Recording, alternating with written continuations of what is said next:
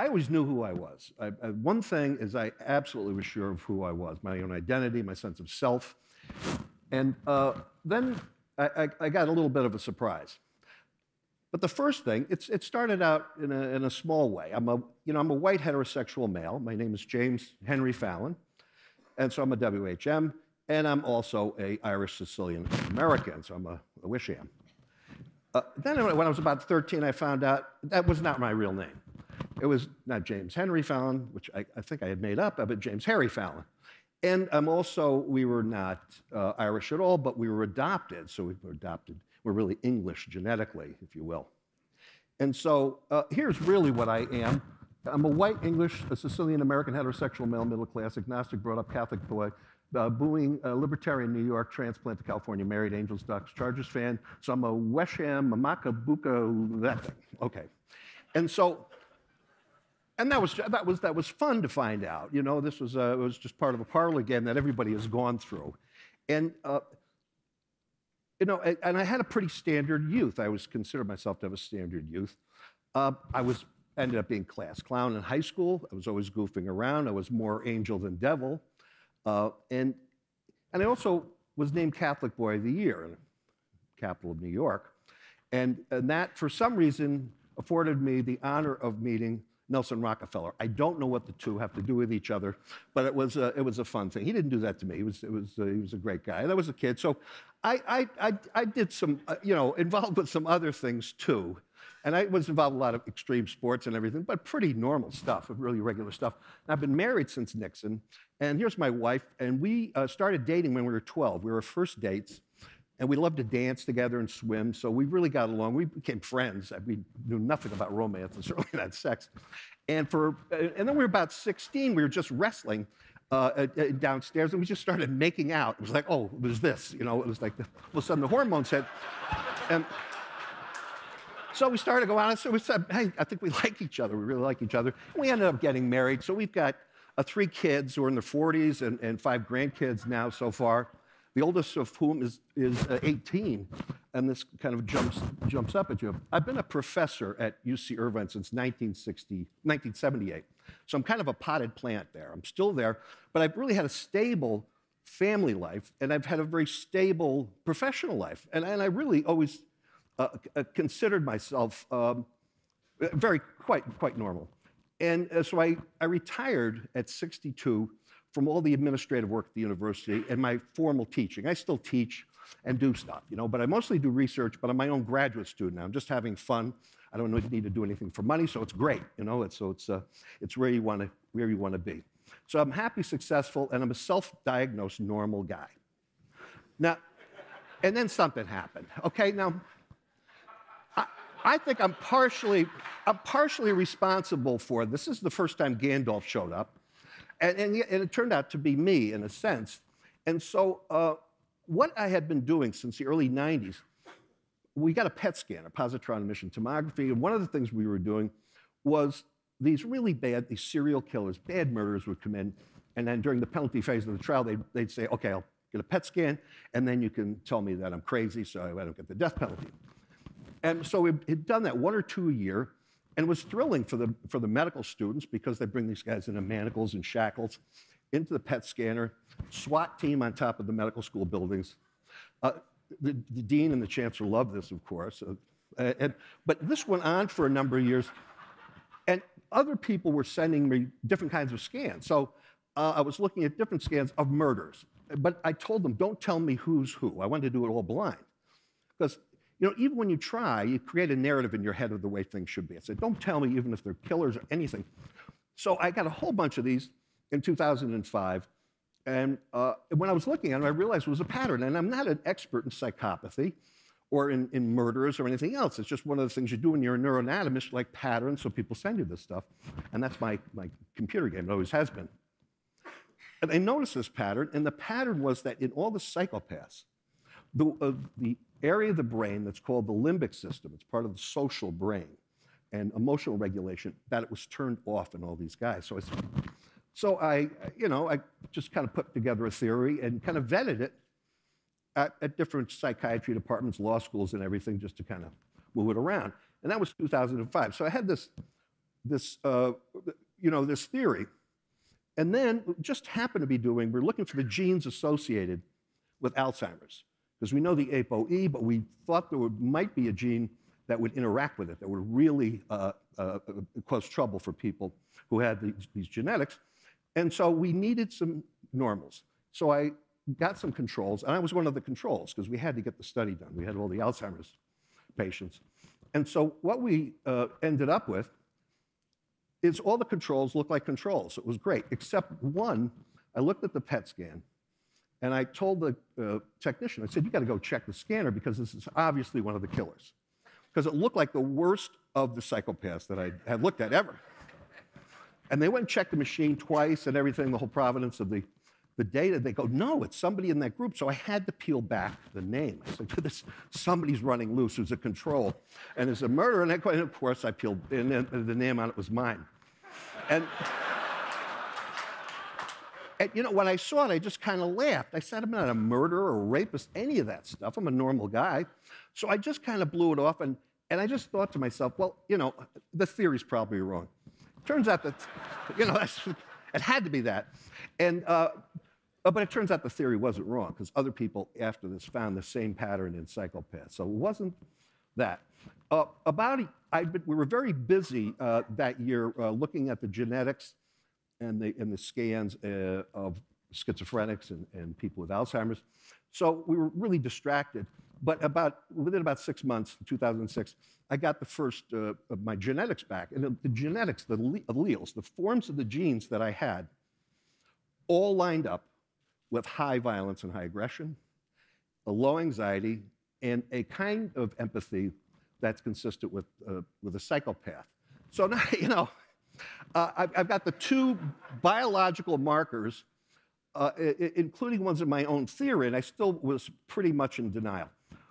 Uh, about the same time, we are having a party. My mother's 97 now, and she's just full of it. She's cognitively in great shape. And uh, she, she, she says, Your cousin gave me a book. You got to read this. It's a historical book, and it's about your father's family. Now, her whole family's from Sicily, and she always got the business about being mafia. In fact, growing up, she was a bootlegger and all this stuff, and she rode a, a, a dynamite truck to Lucky Luciano's place. But they were all good people, you know, they, they were. so so she was sick of that. And here was a book, and it was about the, the first killing of a mother by a son, matricide, in the American colonies. And, and it was my direct grandfather, okay? It was the Cornells. And it, but in that, uh, you know, one of my cousins is Ezra Cornell, who founded Cornell University. That's very nice, right? Kind of offset it. But also because, hopefully, that was the idea. And uh, another cousin, though, was Lizzie Borden. Now, cousin Lizzie got, got a lot of press. I tell you, she's innocent. So, she, we, we, don't count Lizzie as one of the murderers in our family. Uh, but we also found, for example, that one of my cousins, one of our cousins, is Jimmy Carter and Marilyn Monroe. And of course, we all have these kinds of connections with people. So, but it was fun finding this out. Again, part of the parlor game of it all. Now, it, but then it got, it got kind of worse. No, ancestry is not genetics right? But it's fun to do. But it turns out on my father's side of the family, not only was that one whole line of, of murderers and bad actors, uh, well, there were three other lines of murderers. And one of them went back to these, uh, this group of Irish, uh, English kings who were, were, the most savage of the, the English kings. And those are all direct grandfathers. And we had slave traders. Oh, they're very charming family on that side. But there was also kind of a high percentage of ministers and nuns so they were really holy people, really rats. And, and it, was, it was a funny family on that side. So anyway, I, I found that out, and, uh, and I, I got a call and, it, by uh, the guy who had just put money into an adult stem cell company. And, uh, and he, he put you know, a few million dollars in. He goes, you know, give a TED talk and talk about the struggle to get adult stem cell biology accepted. And it never was. And we had findings in the mid 90s and, and, and had some findings in humans. And after 10 years, the New York Times, who was not the Nobel Committee, said our, you know, our results were like the most startling find of the uh, decade of the brain. So I was going to talk about the kind of the struggle against the bias, some scientific bias where people just don't believe you. People just didn't think there were adult stem cells in the brain and certainly couldn't activate them. We found out we could, and now the whole, uh, my life was dedicated to finding how to mobilize them to reverse Parkinson's and also chronic stroke. So we formed this company. He goes, talk about that, that whole struggle. I talked to the TED people. I went, yeah, that's okay, but can you make it sort of personal and funny? And here's the mistake I made. I said, well, I have this other story, you know. And I said, I don't know if, anybody's going to think it was interesting, because they never really thought it was that interesting. And I told them, and they said, that's it. So I gave this talk, and in it, I had this uh, theory that I got from watching my mother weeding in our backyard. She was sitting on a three legged stool, and I said, well, we have contributing to psychopathy these high vulnerability genes. And the other leg would be a certain brain pattern. And the third one was early abuse or abandonment.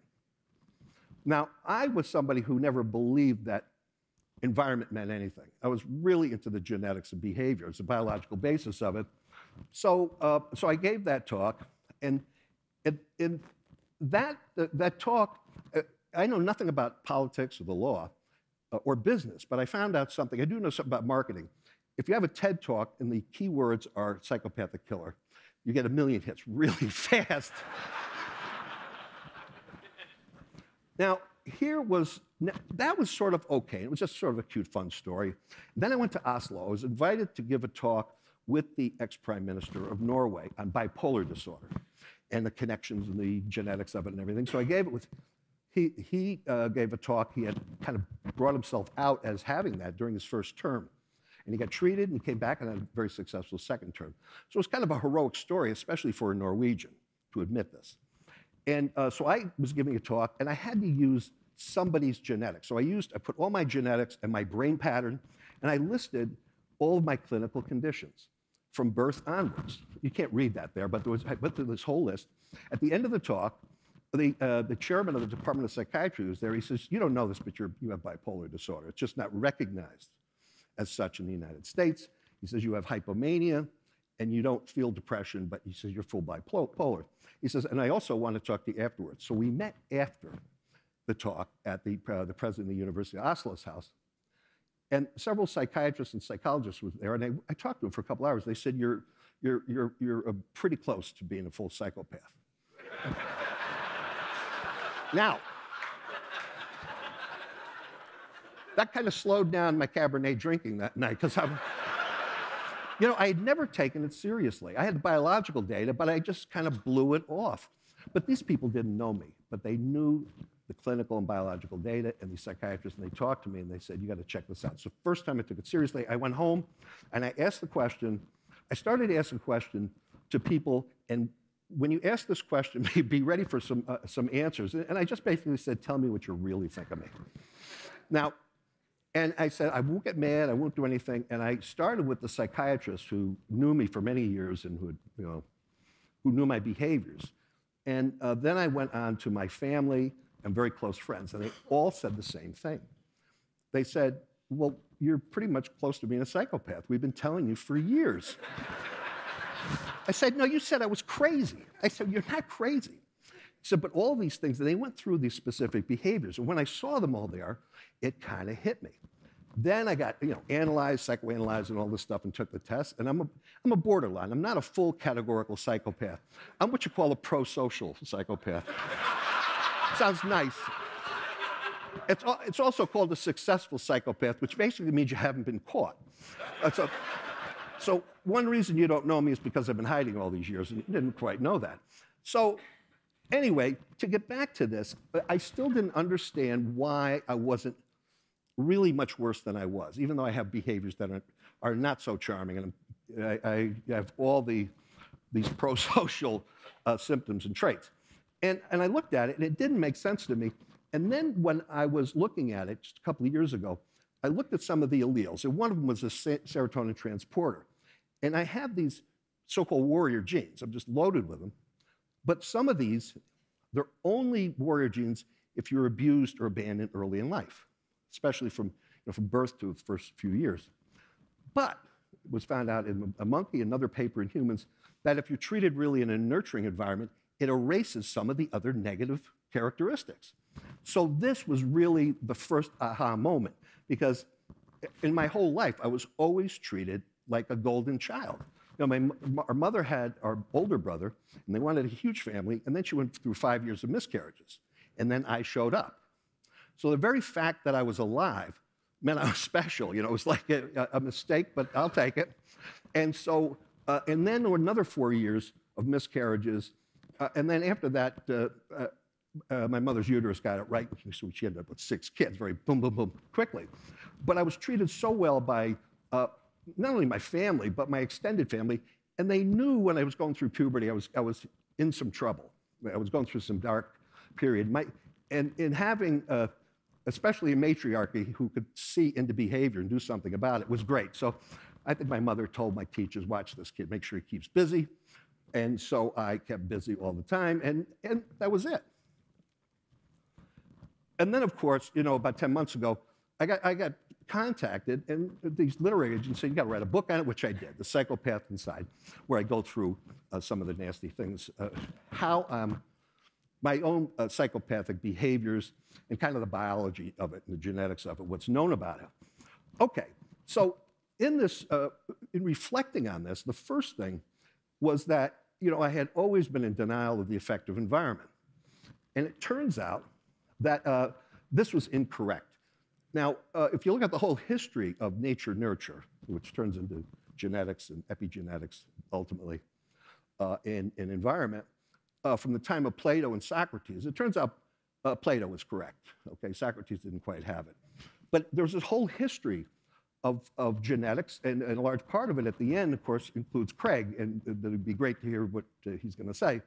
But in this, I never appreciated this interaction of, of genes and environment, and that's when the, the, the crow showed up.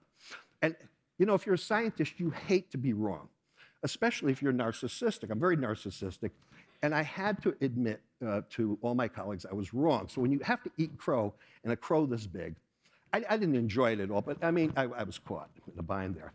So now, given this, I, I asked the question, what do I do about this personally? Now, I know that you can't do anything if you're born with the psychopathy or any of these personality disorders. There's no treatment. And, uh, but I said, I could do it though, I can change. So what I started doing, first with my wife a couple of years ago, I started every interaction I would have with her, I stopped for a moment and said, what would a good guy do here? So it starts with, you know, who do you pour the wine for first? Who do you serve? Do you clean up? Simple things. But also, I'm the kind of person who, if there's like a family death, I'll, if I find a party, I'll be at the party. I mean, I'm a real rat. And, and so I stopped and, and I stopped and said, no, you got to do this other thing. But I found out a couple of things. First of all, that stopping and looking at this emotionally, you know, with some empathy, and it turns out I don't, do not have a very good empathy, emotional empathy. I have cognitive empathy, but not emotional empathy. And I found out that hundreds of times a day I was doing the most selfish thing possible. It, but it slowed me down because I had to think of it, and I became less smart. You know, part of being a psychopathic is you don't care about other people. And everybody, usually when you're interacting with people, you're saying, am I going to hurt this person? Or somebody like me, I don't even think of it. So I appear smarter than I am. I may not appear too smart right now, but you know, you appear smarter. And, and so psychopaths don't have to go through that inefficiency of looping into the limbic system. And so it's, it's sweet, isn't it? It's, and you know, after a couple of months, she goes, what, are you doing? What's going on? She thought it was a con. And she goes, I said, what do you mean? She says, well, your, your behavior's changed. Oh, you're nice. And, and then I started to do it with everybody else close to me. And they said the same thing. And they weren't talking to each other. But then they, and I, and I told my wife and I told my close friends, I said, this is not sincere. I'm just doing it because I think I can do it. and they, and I was really being honest, you know. It was like, are you lying? You're being honest. And, uh, and they said, no, just the fact that you're trying and you're doing this is enough. I said, you don't care if I'm sincere? They go, no. I never understood this about people. They all just want to be treated well. Oh, you know, uh, this is a big surprise to me. You're talking to a 14 year old boy here, uh, you know, and, and, and so the next thing is what do you do professionally? So I got two of my close colleagues.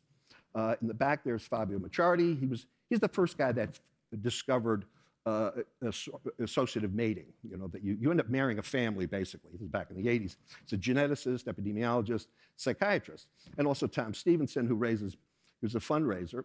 And the three of us got together, and of course, when you get uh, three of you together, uh, you don't call yourself the Three Amigos or the Three Musketeers, or what my wife called us, which I can't repeat here. Uh, you call yourself a, a global consortium, of course. so we started this global consortium. I mean, it's the only thing to do, right? And, and so what we started to do is, given this information, what can we do professionally now that we, we're starting, and a lot of people are starting to know this, you know, research-wise, how epigenetics evinces behavior and can it be changed? We'll say, well, you, once you have early epigenetic changes early in life, you can't change them.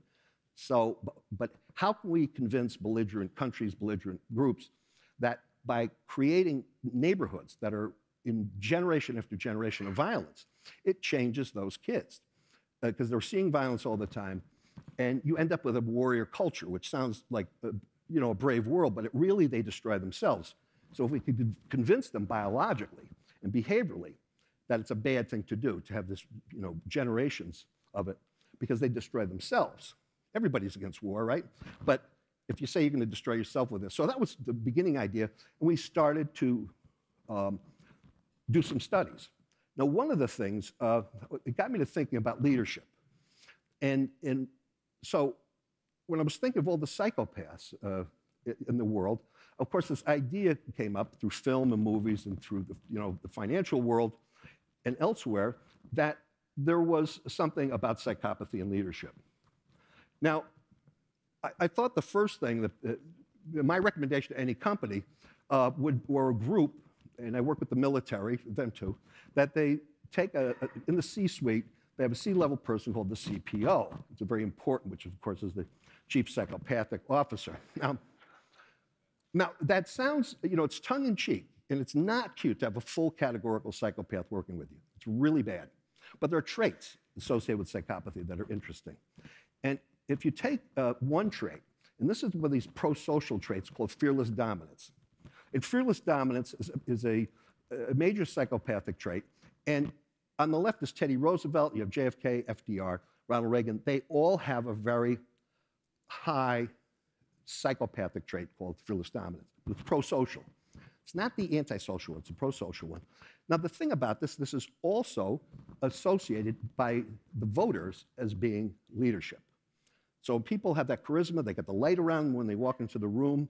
That's fearless dominance, and it's what people want. It doesn't make you a good leader, but it really impresses people. So leadership at any level is this. And so, you know, in a way, we have to accept some psychopathic traits as being very powerful. And, you know, you can look at, for example, uh, more recently, President Clinton, President Carter. Now, President Clinton, he's kind of in the middle. He doesn't have this full trait. He's in the middle, but it's thought to be uh, have great leadership skills. And, and uh, Jimmy Carter is, has zero psychopathy, as it turns out. Now, he's got leadership skills, but zero psychopathy. So we're tending to have these less sort of pernicious people. Now, if you look at the Bushes, it turns out that George Bush uh, and Bill Clinton have at the same level of psychopathy and leadership. The same one. Uh, George Sr., also like Jimmy Carter, zero. And so uh, th- there's a very interesting thing of how uh, psychopathy really integrates into the culture. If you look at empathy, here's another one. Different kinds of empathy. Uh, one has to do with being in group and out group. Uh, people who are empathetic toward family and tribe and whole versus whole nation in the world. Uh, and then there are other people who just have this cognitive one. And there's the marker in my brain for cognitive empathy. I, I have very little emotional empathy. But I know what other people are feeling. And so uh, the problem with psych psychopaths is they use that against you. Now, if you take a look, I looked at three of our, uh, my heroes, right? It's uh, Nelson Mandela, uh, Gandhi, and Mother Teresa. It turns out that they love the world. They love all the children of the world. They did tremendous things. But if you heard uh, Nelson Mandela's daughter talk at his memorial, she said, he was a great man, but he probably didn't want to be his daughter. Uh, same thing with Gandhi. He was not very good with his own family. Mother Teresa, interpersonally, was a wonderful person, was a little prickly to, to, to be along with. So some of these traits are very conducive to leadership. But the, one of the points is, is that you know you don't have good and bad genes, and if we look at these traits of good and bad, you know, think of them like this. Some of these traits are good for the individual in a family. They're not good for the, for the whole species. Some, which are great for the species, are terrible for home life. And if you look at it that way, it's you have to look at it in a complete species way. And so we started asking some questions. Uh, and just one, uh, leaders in energy. You, without narcissism, who has got the, the energy to go 24 7 to be a president or a CEO? You have to be on all the time. And an average person just doesn't have it, doesn't have that drive and, and, and won't take risks. Uh, we took two of many questions that we're now looking at. So we're looking at funding for these others, and, and we've already started on some of these, and I'm almost done here. I see I'm out of time. Because um, we're really uh, concerned about uh, not only bullying, but street violence and home violence. And, and, and so what we did was, like, I, I went to the Sahara, and the idea was that nomads have very little war. And so if we took a group of living nomads went in and tested them genetically, for example, with warrior genes, et cetera, but also interviewed all of them, both Bedouins and uh, Berbers, Arabic, non-Arabic uh, nomads. And uh, in this, uh, found out that the, both of these, the Arabic and non-Arabic, were genetically very close to Sicilians. And in fact, the way they adjudicate problems is very similar to the way Sicilians do it. And they have a very stable society. They let people fight for a while, and then they got to get in front of the elders who say, you know, shut up, you did this, this. And so they have a very efficient way. What I never understood and appreciated was the effect of the physical, harsh physical environment. A harsh physical environment is very conducive to peace. And uh, this is why Burning Man should never be held anywhere other than that playa up in northern Nevada. If it was held in a peace, in a very nice place, people would be fighting all the time. But up there, you got to be good to each other. Now, another thing we're looking at right now is we're looking at uh, human skeletons and human DNA from 500,000 years ago to today. This guy right here we're looking at is 24,000 years ago. it's Upper Paleolithic, and we have good DNA from him. We have his skull reconstructed, so we're reconstructing what his brain looked like. We're trying to match up the changing genetics throughout the past 500,000 years with the brain, how the brain is changing, and the culture, the art that's found with them, tools. So we're trying to look at it kind of a transdisciplinary way to see the human trajectory. Now, one thing I said a few minutes ago was that you can't reverse epigenetics very easily. Uh, and, but it turns out Fabio Macciardi uh, just published a paper this in the past month and a half that showed that you can. This is fantastic news that you can go back and forth with gene expression, you can change the epigenetics, which means that we may be able to un uncode uh, psychopaths and other nasty people, or people who've been bullied. You know, that, that the whole uh, depressing cycle of that. So that was very good news. And I want to end with this, which is here's the usual way we look at the, the human trajectory. That is, uh, we, we, we, see this, this steady progression into modern man. But uh, we're headed, of course, toward a, transhuman world that was already mentioned uh, uh, today. And, and that is the integration of, you know, of synthetic biology and, and digital uh, sorts of interactions with our genome and our epigenome. And so that's being done, and it's inevitable, and it's probably a good thing, even though it's scary. So here is where we see uh, humans going. Uh, we went from handyman, Homo habilis, to Homo erectus to Homo sapien. That, there we are today. Neanderthals, we somehow outbred them. And, and uh, so they went extinct, but about, there's about 1% of Neanderthal DNA in each of you. But it's different DNA for all of you. So about 25% of Neanderthals is in us. So they became somewhat integrated with us. But now, what happens after that? Well, we have, uh, with the transhuman uh, changes, we're going to have a Homo uh, cyberneticus and a Homo optimus, who are then going to uh, interbreed to form Homo hybridus. And hybridus will then uh, be uh, integrated with the robotus uh, panis, and, and to make ultimately Homo machinus, though this is going to be the brave new world that some people see. And of course, the people who are fighting this will become Homo sapien laudatus, and they will simply go away. This is a depressing future. and, but if you're a scientist, it's very exciting. Okay, that's why it's, it bums artists out, I know that. But if we, lastly, what does this have to do with the common thread? And in thinking about this, in order to really um, do all of this well, how do we address the threat of violence and abuse in global cultures and, and look at this uh, throughout the span of uh, human history? We need to sustain a stable and nurturing information society for good business and to do it well and ethically and morally, right? And so that's, uh, it's, it's very important for us to proceed in this way. Now, here we have a, a, new formulation of what Neanderthal, this Neanderthal woman, a pregnant woman, uh, probably looked like. It's much different than we're used to seeing. A very elegant uh, redhead here in this part, but she's, her hair has dyed. Uh, and, and, this is a reconstruction of what she looked like. And here in the middle is uh, some of us Neanderthal meeting just a thoroughly modern young gal. And where that interaction takes place, what is the common thread?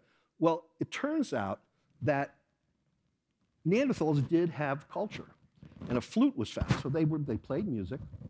Uh, instead of talking so much, they probably used their mouth as a third hand. Now, I went out fishing, tuna fishing, three days ago, and everybody on there was a Neanderthal because we have tie hooks and everything with our mouth. And, but also last month, found in Gibraltar in the Neanderthal cave was this symbol that was carved into the rock, the first real showing of Neanderthal art. Now, I don't know what it looks like to you, but to me it looks like a hashtag. Now, this first hashtag was 40,000 years ago by Neanderthal. What was he trying to tell us, this, this artist? Well, I, I, in, in finding this, the, the, weave, the weave of the common thread, I think the best uh, verbal description of it is, is by Goethe in Faust, which is, in truth, the subtle web of thought is like the weaver's fabric wrought. When treadle moves a thousand lines, swift dart the shuttles to and fro and seeing the threads together flow, a thousand knots, one stroke combines. So I've, in, the, in the talks I've heard, I've seen some of those single strokes that are really quite inspiring. So I think we may see it here before the, uh, the conference is over with. So thank you.